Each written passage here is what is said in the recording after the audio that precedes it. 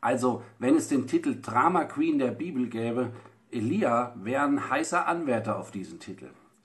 Elia ist auch ein Prophet, der nicht immer damit einverstanden ist, wie Gott reagiert, welche Aufträge er ihm gibt, aber doch er traut sich was. Und vor allen Dingen heute in der Tageslesung geht er diese Wette ein mit den Baalspriestern. Er sagt, jeder von uns beiden darf einen Stier opfern. Ihr als Baalspriester und ich als Prophet des äh, Jahwe, des einen Gottes. Und wir dürfen äh, sie opfern, so wie wir es gewohnt sind. Aber eins ist klar, der Opferaltar wird nicht mit Holz angesteckt, sondern nur das Holz dahingelegt und nicht angezündet. Und wenn Gott das Opfer will, mein Gott bei mir oder euer Gott bei euch, dann wird er schon das Holz entzünden. Und Elia geht nochmal pathetischer und epischer vor. Er lässt sogar, im Gegensatz zu den Baalspriestern, sein Opfertier, seinen Stier und das Holz mit Wasser übergießen. Und er betet zu Gott und das Holz flammt auf. Das verzehrende Feuer aus dem Himmel nimmt das Opfertier, das Holz und auch die Steine, die Elia drumherum gelegt hat, als Opfer an.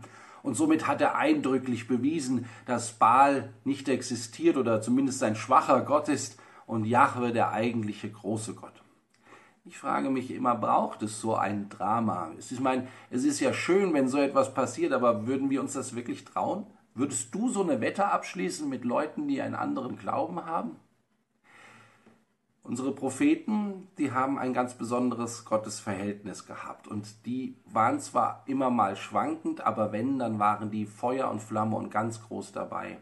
Was wir davon lernen können, ist eigentlich nur das Vertrauen. Das Vertrauen, dass Gott dann, wenn ich für ihn streite, für ihn kämpfe, bei mir ist, dass er mir hilft, dass er das, was ich vorhabe, solange es unter einem guten Stern steht, solange es zum Aufbau des Reiches dient, auch unterstützt und bei mir ist. Ich glaube, ich würde selber auch vielleicht nicht unbedingt so eine Wette eingehen, aber was ich mir immer wieder klar mache ist, vertraue auf Gott, dass er dir in diesen großen Situationen, in Notlagen hilft. Wenn du das Vertrauen hast, wirst du selbstbewusst. Und wenn du selbstbewusst im Glauben bist, dann wirst du Hoffnungsträger.